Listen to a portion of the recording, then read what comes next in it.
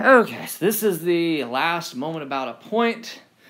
Uh, and I think we're kind of beating a dead horse. But uh, I'll do another one. So, and, and these, I think it is important to make sure you can do this. It's very common to have these forces uh, along these dimensions, the breaking forces into their components using their dimensions is is very important. R uh, F equals FU, where U is R over R, um, is important. So here, I want the moment of the force about point O. Moment about point O equals R cross F. Now, I could do these separately.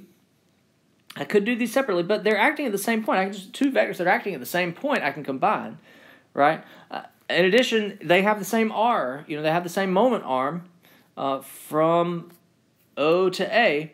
Uh, so I'm going to combine these first. So, so first let me kind of look at F, we'll do FB first. Let me break it up into its components. What do I do if I see dimensions and I want to break things up into their components? F equals FU, where U is R over R. So this FB is going to be 780 times R over R. So the R is how far does it go in x? How far does it go in y? How far does it go in z? Uh, how far does it go in x? Nothing in the x, but how far does it go in the y? 2.5. This is really a 2D, but I'll, I'll kind of act like it's a 3D, use my R over R process. 2.5 in the j, and then how far does it go in the k? It goes down 6 in the k, divided by the magnitude, 2.5 squared, 6 squared, take the square root. And so FB I've got 300J minus 720 720K. Units are Newton. So, so it was really 2D. You could have seen 2.5 by uh, 6 and, and, done that. I kind of did it the longer way that I normally use for 3D problems. Uh, but either way, you should get 300 in the J and down 720 in the K. All right? Put that in my back pocket.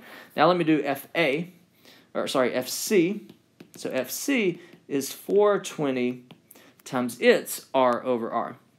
How far does it go in the x direction? 2 in the i, backwards 3 in the j, and down 6 in the k, divided by 2 squared, 3 squared, 6 squared. Is that 7?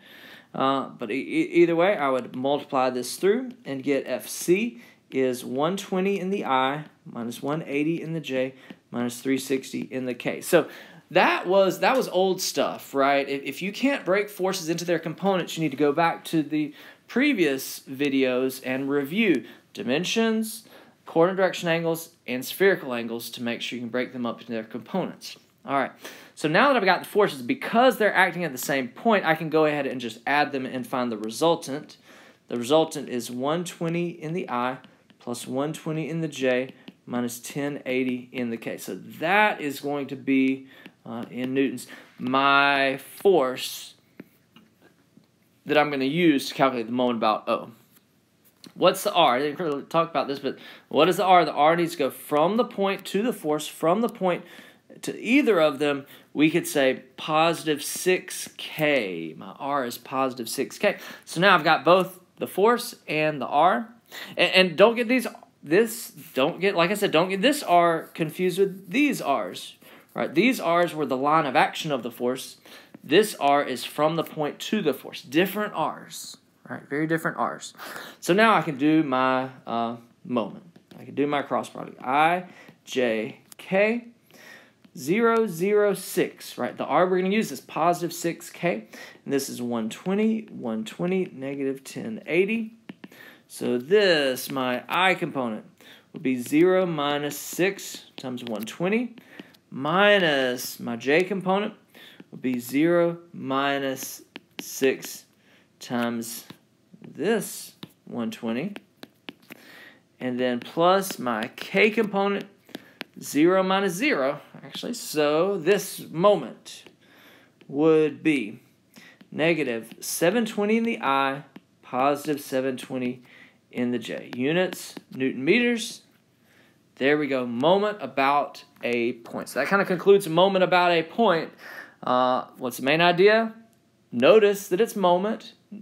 notice that it's asking for a moment, and notice that it's asking for a moment about a point, and it's r cross f. The r goes from the point to the force. The F is just the force, but make sure it's written correctly in um, in vector form or Cartesian notation.